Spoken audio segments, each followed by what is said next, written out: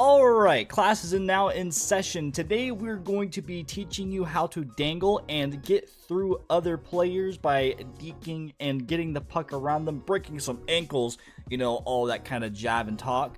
But without further ado, guys, before we get started, go ahead and like, subscribe, and hit the notification bell to get notified when these videos do come out. And other than that, guys, let's get right into it. Alright, well, that's the way to start it off. Alright, so we're out here on the ice, and you want to know how to deke. You want to know how to absolutely break and trash people's ankles. So first thing what you're going to do is, on PC, there is going to be a E button, your E key. E as in Edward, E as in Echo, E as in everything, E as in... I don't know anymore. She was my everything. Anyways, guys, so we're going to go ahead and get right into it. Get that up. Uh, la la la la la. Alright, so usually like uh, on the shooting tutorial, I taught y'all how to shoot the puck. Now on deking and handling and also just absolutely breaking ankles, uh, where this is like your little tutorial on how to deke and whatnot. So on, this is the e-poke deke, so like as it's like the poke check in coded ball hockey, this all can be, also can be used to dangle and get around players. So say like you get somebody over here on the right side over here, go and pull back, or pull back, get around them, and then get towards the net and score. So that is the first uh, poke, deke, slash dangle. Uh, your next part is going to be more so just going forehand, backhand. So you got forehand, switch over your backhand real quick.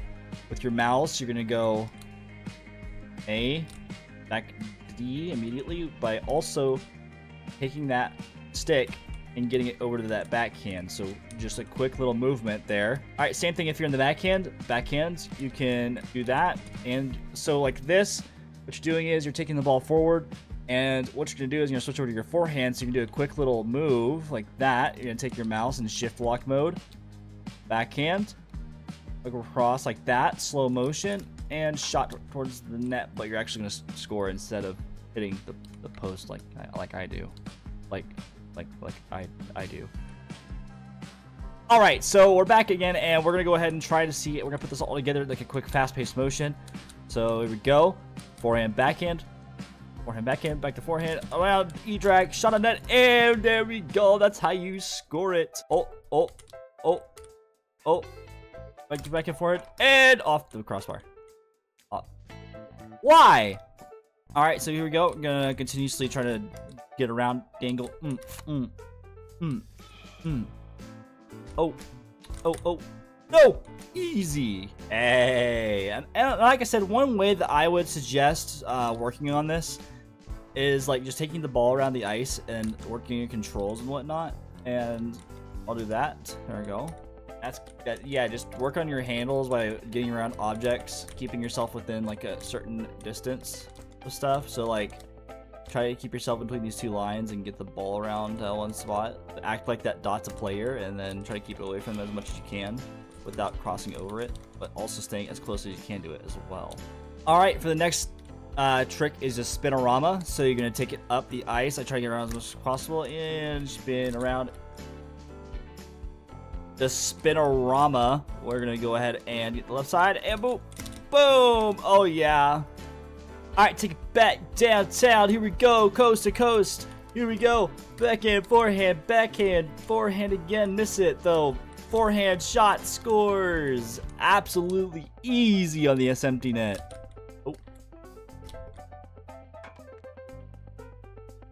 You're playing, right? You're playing. So deking comes with a lot of control. You have to ensure that you're holding on to all that control while also deking around because you can't just like, you know, hope for the best and have it on. So you have to at least work on your ability to handle and shoot the puck first before you try deking or do anything too fancy.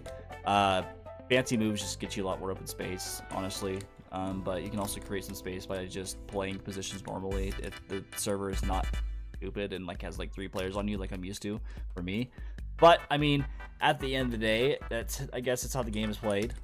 So honestly, it's just gonna be up to you and your skill set. Uh, this is just more so a tutorial on teaching you how to deke and handle and absolutely toe some people's ankles and send them to the ER room for a visit because their mama didn't give them enough milk their ankles straight. All right, well anyways guys, if you guys enjoyed that and would like to see more Roblox hockey content from the teacher himself, Dreadful Sleep, go ahead and smash that like button, subscribe, and hit that notification bell. Other than that, guys, I will see you guys all in the next one. Goodbye.